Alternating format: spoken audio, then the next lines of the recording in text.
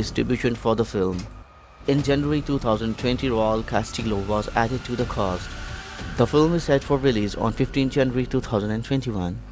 Be sure to leave your valuable feedback and thoughts in comments so can we make more informative videos for you.